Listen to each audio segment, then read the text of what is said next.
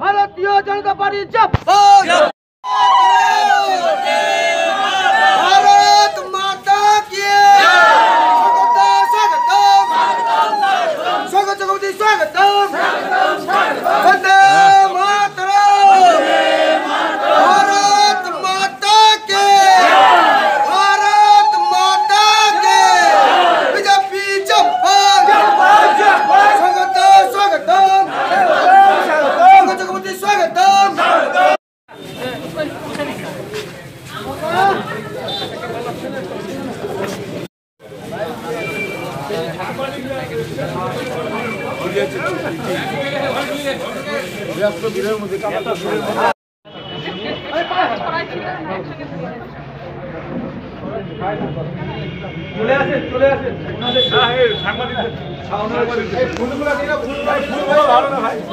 আপনারা জানেন গত চুয়ান্ন দিন ধরে দাড়ি ভিটে যে ছাত্র হত্যা হয়েছিল রাজেশ তাপসকে গুলি করে পুলিশ হত্যা করেছিল।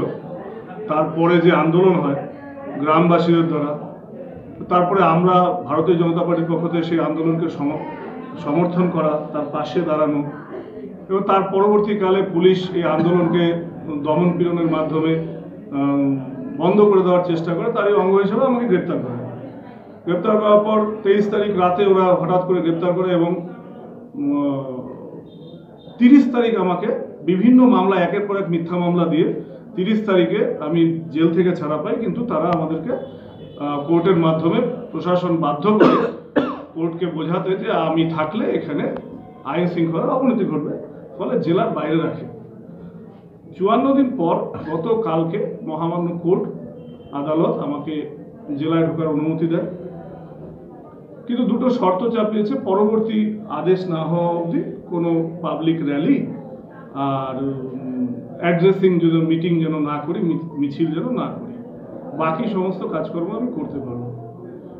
সরকারের পক্ষ থেকে দাড়িভিট আন্দোলনকে ধামাচাপা দেওয়ার প্রয়াস প্রয়াস ছিল।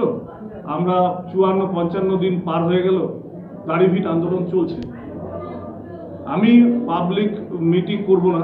আদালতের রায়কে মাথায় রেখেও আন্দোলন চলছে যেভাবে সেভাবে আমরা নৈতিক সমর্থন জানিয়ে দাড়িভিটের আন্দোলন সিবিআই তদন্তের দাবিতে আমাদের চলতে থাকে এটা প্রথম বিষয় ছিল। আর দ্বিতীয় বিষয় ছিল আমাদের রথযাত্রা।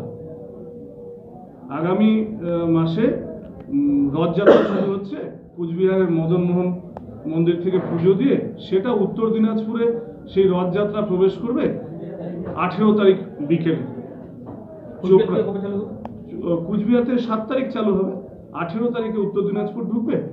উত্তর দিনাজপুরে চোপড়া ইসলামপুরে প্রথম কার্যক্রম হবে চোপড়াতে ইসলামপুরে রাত্রিবাস। দ্বিতীয় কার্যক্রম বিভিন্ন জায়গায় রিসেপশন নিতে নিতে কানকিতে জনসভা এবং পরবর্তীকালে ডালখোলাতে রাত্রিবাস। তৃতীয় দিন রায়গঞ্জে ঢুকবে। সেখানে বড় জনসভা হবে লোকসভা ভিত্তিক। কুড়ি তারিখে। তারপরের দিন কুড়ি তারিখ রাত্রে কালিয়াগঞ্জে রাত্রিবাস করে কুনোর দিয়ে সাহেবঘাটা দিয়ে ইটাহার দিয়ে এই জেলা ছেড়ে বেরিয়ে যাবে। দেহাবন্দে চলে যাবে। মানে আঠেরো থেকে একুশ থাকবে জেলা? আঠেরো থেকে একুশ এই জেলায় রথ থাকছে। তার যাবতীয় প্রস্তুতি শুরু হবে। রাজেশ তাপস হত্যার পরে গ্রামবাসীদের আন্দোলনকে ভারতীয় জনতা পার্টি সমর্থন করে। পুলিশের যে ভূমিকা ছিল তার বিরুদ্ধে আমার মন্তব্যের পরে পুলিশ সক্রিয় হয়ে আমাকে গ্রেপ্তার করে তেইশ তারিখ রাত্রে গ্রেপ্তারের পর থেকে জেলে ঢোকায়। জেল থেকে ছাড়া পাওয়ার পরে আমাকে জেলার বাইরে রাখা হয়। আমি ঢুকলে নাকি জেলায় খারাপ পরিবেশ হবে, আইন শৃঙ্খলার। চুয়ান্ন দিন পরে আমি জেলায় কোর্টের, মহামান্য কোর্টের রায়ে আমি জেলায় ঢুকতে পেরেছি। তার জন্য আমার আইনজীবী সুব্রত দে এবং আমার এদেরকে ধন্যবাদ, কোর্টকেও ধন্যবাদ জানাই। কোর্ট দুটো শর্ত দিয়েছে, সেই শর্ত আমি মেনেই আগামী দিনে কাজ করব, সাংগঠনিক কাজ করব। গাড়িভিটের আন্দোলনকে স্তব্ধ করে দেওয়ার যে চক্রান্ত হয়েছিল, ষাট দিন ধরে সেই আন্দোলন চলছে। আমরা সেই আন্দোলনকে আরও অক্সিজেন দেবো, আগামী দিনে আর আন্দোলনটাকে বড় আকারে নিয়ে যাব। তারই অঙ্গ হিসাবে আমাদের যে রথযাত্রা আসতেছে, সেই রথযাত্রা দাড়িভিটে ঢুকবে। এবং সেখানে রাজেশ এবং তাপসের নামের আরেকটা রথ যুক্ত হয়ে রায়গঞ্জে যে জনসভা হবে, সেখানে এসে যুক্ত হবে। এই রথযাত্রাতে আমরা দাড়িভিট ইস্যুটাকে আরও উচ্চ স্তরে নিয়ে যাব উচ্চ গ্রামে নিয়ে যাব এবং যেন সিবিআই এর তদন্ত হয় আমরা সেই আন্দোলনটাকে সেই স্তরে নিয়ে যাব। বিতর্কিত মন্তব্য আমার তো ওই নিয়ে আমি বলতে চাইছি না এই জন্য যে আমার বক্তব্য আপনারা দেখিয়েছেন এবং সেই বক্তব্যের জন্য জেল খেটেছি। ওই জন্য কি বলেছি আপনারাও জানেন আর কি আছে আপনারা আদালত বিচার করছে। এখানকার পুলিশ এখন শৈশবকালে আছে শাসক দলের নেতা মন্ত্রীদের কথায় চলছে। তার জন্য ষাট দিনে এখন রাজেশ তাপসের খুনি ধরা পড়েনি। রায়গঞ্জ শহর সহ গোটা জেলায় দুষ্কৃতীদের দাপা, দাপট চলছে, গোলাগুলি চলছে, জেলাবাসী সন্ত্রস্ত। রথযাত্রাতে আমার আবেদন থাকবে পুলিশের কাছে। রথ ঠিকঠাক ঢুকুক, ট্রাফিক ঠিকঠাক মেনটেন করুক, নিরাপত্তার কিছু চিন্তা করতে হবে না, ওটা আমরা দেখব।